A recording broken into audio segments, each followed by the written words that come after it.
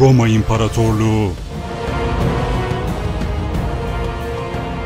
Dünya üzerinde var olduğu süre boyunca Roma tahtında 144 imparator taç giydi.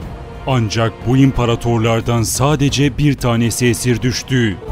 Esir düşmekle kalmadı, aşağılandı, hakarete uğradı ve en sonunda feci şekilde can verdi. İşte Perslerin esir aldığı ve köle olarak kullandığı Roma İmparatoru Valerianus'un ilginç hikayesi. 252 yılının Avrupa ve Asya haritasına bakacak olursak, iki devasa imparatorluğun dünyanın büyük bir kısmına hükmettiği görülecektir. Doğuda Perslerin oluşturduğu Sasaniler, batıda ise Roma İmparatorluğu.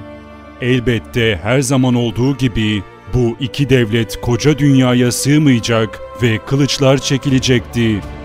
Sasani İmparatorluğu 1. Erdeşir önderliğinde 224 yılında kurulmuş ve 18 yıllık hükümdarlığından sonra oğlu 1. Şapur'a yükselmekte olan bir devlet bırakmıştı.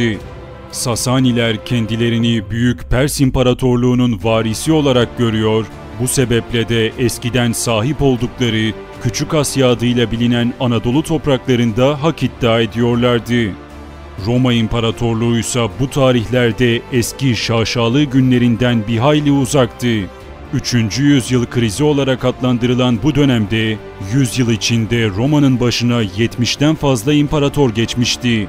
Askerlerin yönetim üzerindeki baskısı sonucu siyasi istikrarın sağlanamayışı, uzun süren başarısız savaşlar ve isyanlar derken bunlara bir de kıtlık ve veba salgını eklenmişti. Yani Roma İmparatorluğu gerek siyasi gerek ekonomik anlamda parçalanmaya doğru adım adım ilerlemekteydi. İşte böyle bir dönemde tahta çıktı İmparator Valerianus. 253 yılıydı. Romalı soylu bir aileden gelen Valerianus, 50'li yaşlarında lejyonlar tarafından imparator ilan edildi. Başa geçtiğinde ülkenin batısında Galyalılar isyan bayrağı açmış, Gotlar kuzeyden istilaya başlamış, doğudaysa Pers kralı 1. Şapur Suriye ve Anadolu'nun doğusunu istila etmişti. Bunların hepsiyle aynı anda başa çıkamayacağını bilen imparator, en güvendiği oğlu Gallianus'u senatonun da onayıyla tahtına ortak ederek ikinci imparator ilan etti.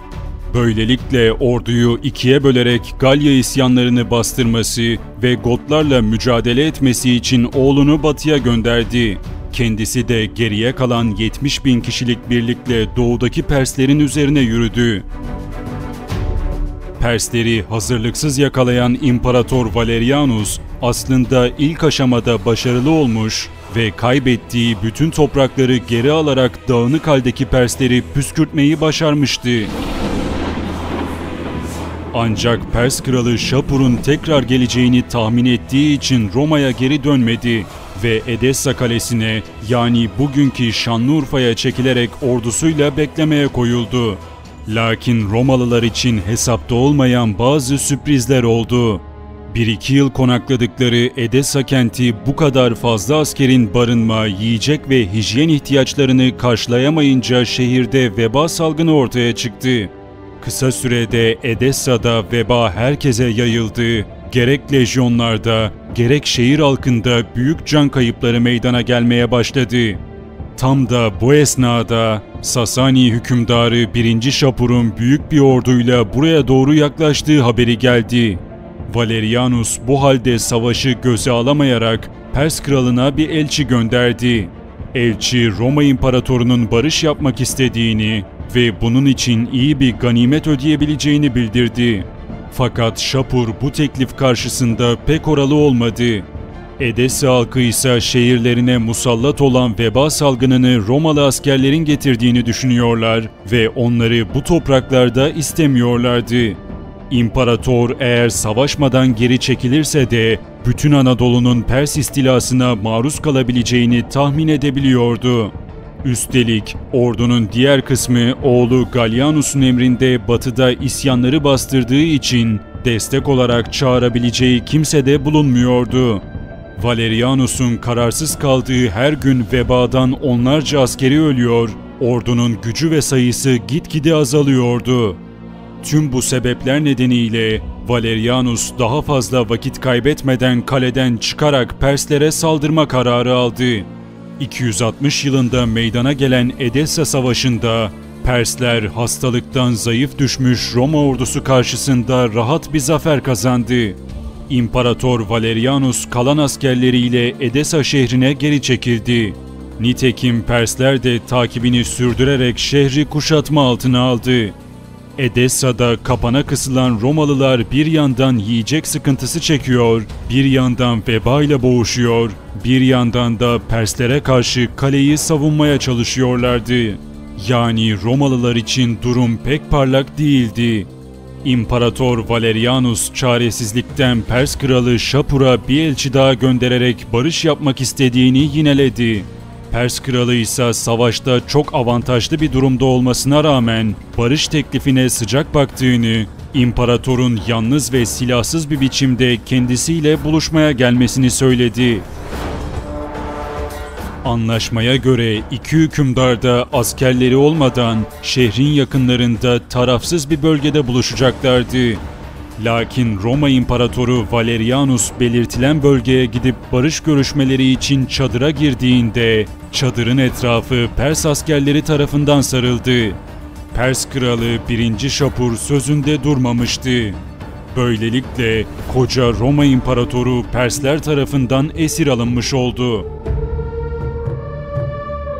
Aslında bir hükümdarın esir düşmesi tarihte hiç görülmemiş şey değildir. Ancak alışık olduğumuz üzere büyük hükümdarlar karşısındaki kişiyi denk gördüğü için ona iyi davranır ve zulmetmezdi. Fakat Pers kralı Şapur Roma imparatoruna merhamet göstermedi. İmparator esir düştükten sonra Pers kralının kölesi, hizmetçisi haline gelmiş ve pek çok küçük düşürücü, onur kırıcı davranışa maruz kalmıştır. O kadar ki Pers kralı atına bineceği zaman bile Roma imparatorunun sırtına basarak onu bir tabure gibi kullanmıştır. Birinci Şapur Valerianus'u bir köpek gibi zincirle bağlayarak gittiği her yere götürmüş ve bir zafer anıtı gibi yanında dolaştırmıştır. Bu şekilde berbat bir esaret hayatı yaşayan İmparator Valerianus'un nasıl öldüğü hakkındaysa Romalı tarihçiler iki farklı iddia kaleme almıştır. Bunlardan ilki Valerianus kendisini özgür bırakması karşılığında Şapur'a dilediği kadar altın vereceğini söylemiş. Bunun üzerine sinirlenen Pers kralı İmparator Valerianus'un ağzına erimiş altın döktürerek idam ettirmiştir. Diğeri ise Şapur imparatoru bir süre hizmetçi olarak kullandıktan sonra derisini yüzdürüp içine saman doldurmuş, ardından Romalılara karşı zaferi unutulmaması için Pers tapınağında uzunca bir süre sergilemiştir. İki halde de Valerianus bir Roma imparatoruna yakışmayacak bir sonla hayata veda etmiştir. Sasani ordusu ise Konya'ya kadar olan bölgeleri yağmalamış ve daha sonra geri çekilmiştir. İşin ilginç yanı Batı cephesinde olan oğlu Gallianus babasının esir düştüğünü bir yıl boyunca herkesten gizlemiş. Üstelik onu kurtarmak için hiçbir adım atmayıp bir yıl sonra hükümdarlığını ilan etmiştir.